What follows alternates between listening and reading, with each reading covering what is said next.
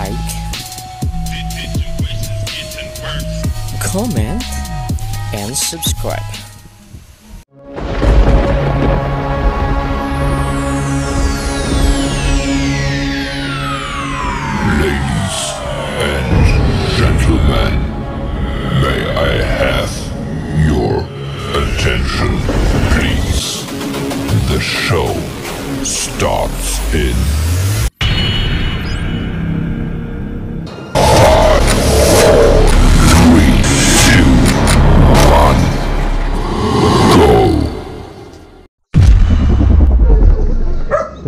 Everyone.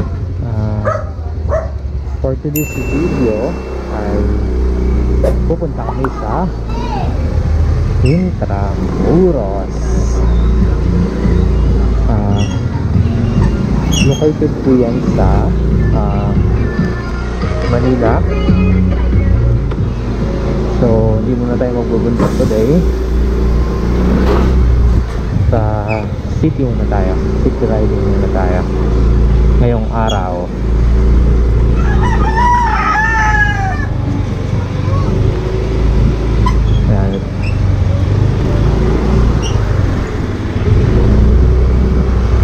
So, bago pong lahat, ah shout out po lang yung aking ah, mga kasama sa LBC Express at um, sa aking mga kamag-anak. Alisa sa family Dakasin family and Boston family. So shout out ko rin yung mga viewers ko lalong lalo na si Mark Vin TV na lagi nanonood sa atin. Ah, today is Sunday September 26, 2021 so napag-isipan ko po ngayon ay ah, mag city, riding muna tayo. Kasi ah, medyo halos lahat ng vlog natin ay ah, puro kabundukan ng Marilaki so try muna natin ano pumunta sa mga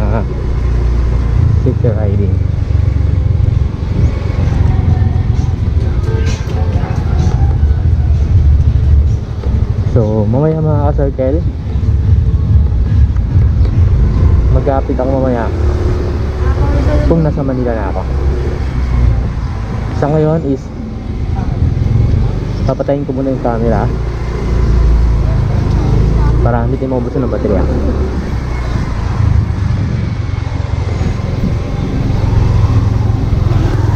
So ngayon mga circle is nandito tayo ngayon sa Mariana, Quezon City. So pinili ko dito dumaan kasi ah, sarado po kasi sarado yung daan doon sa may Lawson. So magkakya po kami, oh. Kami, is hindi rin kami makakapasok. So ikot kami ng Santa Cruz. Sa daan ko na lang is Victoria.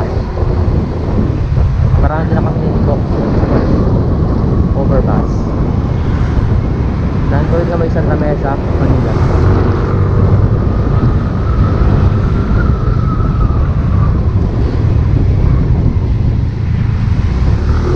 all mga kasagal mag-update tayo mamaya ulit at uh, nasa Manila na ako. Ah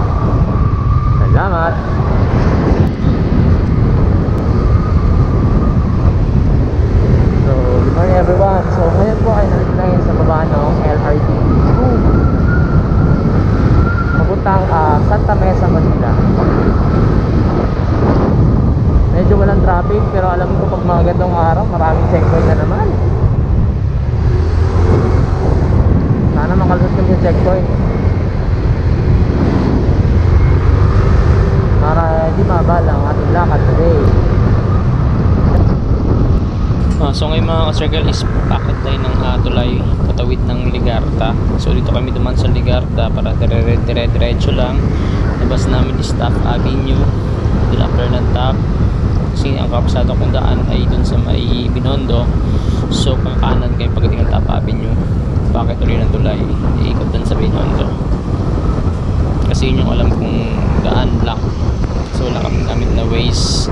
So mamaya mga ka-circle, mag-update ako sa inyo mamaya pag nandun na ako sa Intramuros.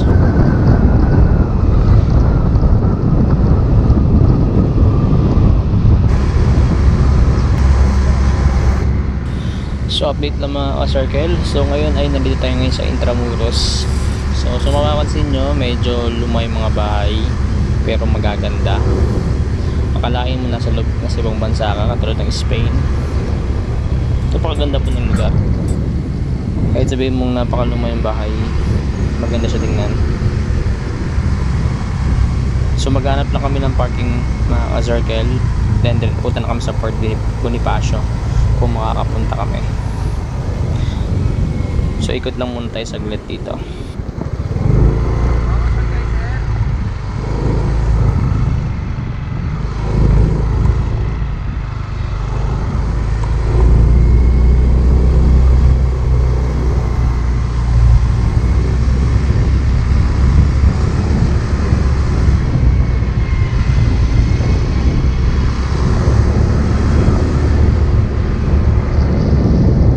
Ay, ito pala yung Mapua.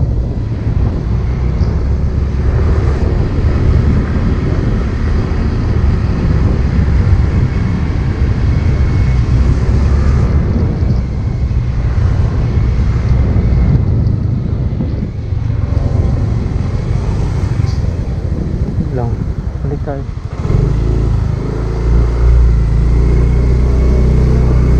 Ay, ito pala LTO thirds. Thirds.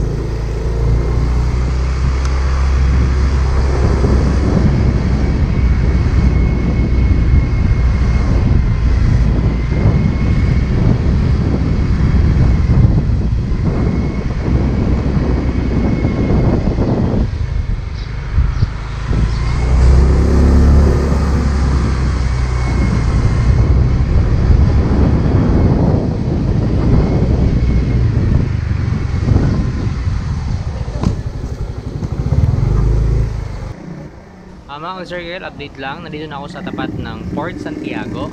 Sad to say, hindi kami nakapasok dahil ah, yung isang kasama ko is 16 years old. Need po pumasok doon is yung 18 years old above. So, ang gagawin na lang natin ngayon is mag-iikot na lang tayo sa loob ng Intramuros.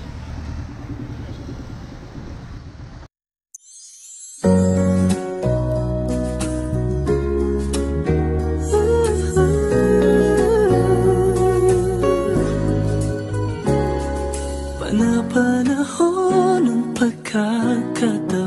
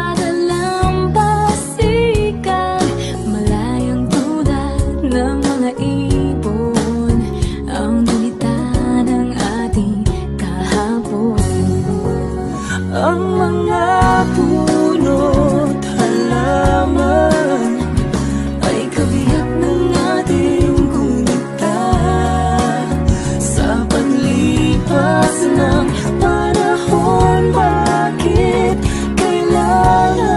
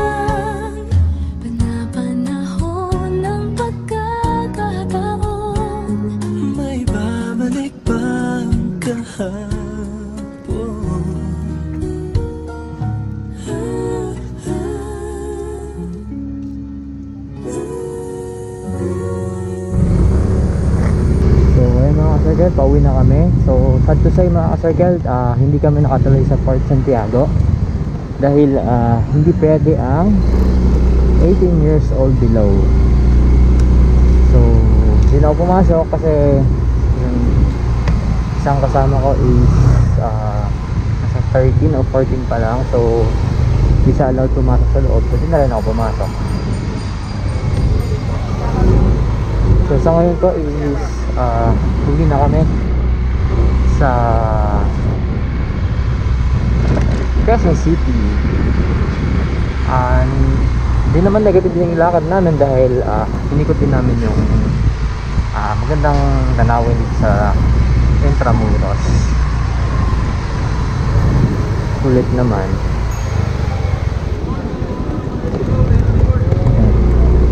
Ang ganda ko rito mga kasagay para ka nag-travel ng Espanya kasi ang dami pang mga lumang bahay na restore lang. Para gumanda